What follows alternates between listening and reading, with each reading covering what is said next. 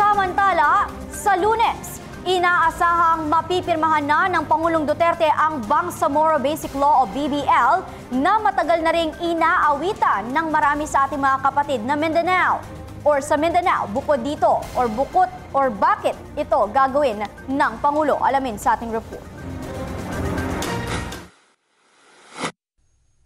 Inaasahang lalagdaan na ni Pangulong Digong Duterte ang Bangsamoro Basic Law o BBL sa lunes. Kasabay ng Idil Fetir, ang sagradong araw ng mga kapatid na Muslim dahil ito ang araw ng pagtatapos ng Ramadan. Inilarawan ng Pangulo ang BBL na floodgate of the peace in Mindanao. Inaasahan na ang BBL ang magiging solusyon para matigil na ang kaguluhan sa Mindanao.